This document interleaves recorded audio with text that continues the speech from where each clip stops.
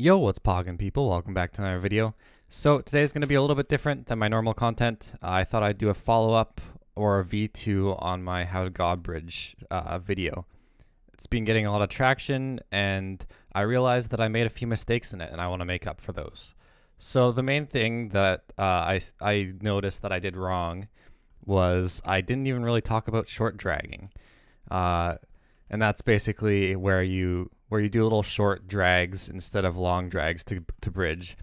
And that's how I did it in my video, but I didn't I didn't explain that that's really the only way to do God bridging. Uh, you have to do shorter drags because you the, the amount of time in between when you have to place blocks is a lot is a lot uh, shorter. So what I did is I'm making it a lot easier for you guys. I have a sound template in the description. Basically what this does is it's a guide for you to follow along to click with. So I set up a note block sound in the exact uh, arrangement and order and timing that you need to click your mouse. So you should follow it as a guideline and basically uh, the second that you unshift, you should start clicking that way. Um, so basically there's going to be a sound, there's going to be a, a MP3 file in the description. And what it's going to be like is just like seven seconds of the timing with note blocks playing. I'll put an example right now.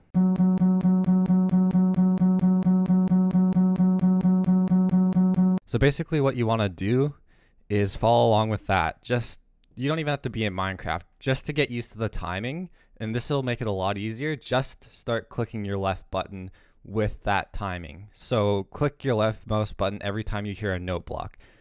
Uh, my recommendation is just to like listen and let your brain get used to it. Let get used to the rhythm and then just start trying to click along with that rhythm. And once you have that down pretty good, you can start trying to to God bridge. Um, you want to be facing negative 135 or you need to be like okay, so you see the facing thing right here you need to be facing 135, 75. Uh, and it might be negative or positive depending on where it is, and it changes. So right here, it would be 45 this time. Right here, another 45, 135, and then 135. So that's how it works. Uh, you can do it this way as well. It doesn't matter. It's just as long as you have your cursor pointing in that direction. All right. So once you have that down, basically what you want to do is take take the timing that you've learned, carry that over and unshift. The second you unshift, you want to start clicking at that timing. And obviously I, I'm still not the best at it because I haven't been practicing lately. But earlier I was getting like five or six extensions of these when I was practicing it. Um, what I should talk about now is the method that you use for clicking uh, because that matters a lot. I use double clicking. It's not as consistent. I am getting a drag clicking mouse soon. So once I get drag clicking, I'll drag click with that timing.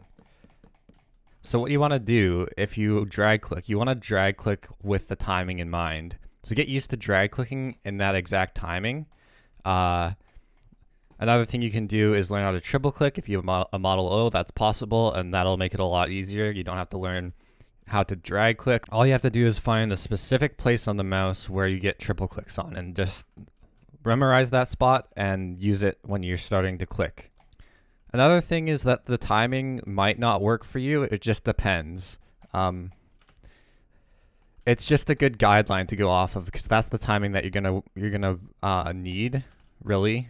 As long as your your cursor placement is in the right spot, that's where you what your what the timing is gonna be for that.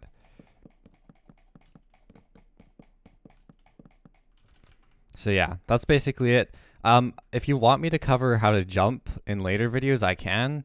Um, but it requires just more CPS. So basically, you want to go seven or eight blocks, jump, and then you're gonna want to dra long drag click, uh, or you can just triple click. So yeah, uh, another thing about that is the timing is a little bit different. You're gonna want to pause once you jump, and then you want to start clicking again, just for a little bit. Um, I just recommend getting the base like six or seven blocks down, once you can do that consistently, then you can start thinking about jumping. The main thing is just getting the timing down and seeing how far that can take you, you know? So yeah, um, I carried that on quite long enough, I feel like. I hope you guys enjoyed. And I'll see y'all next time. Bye bye.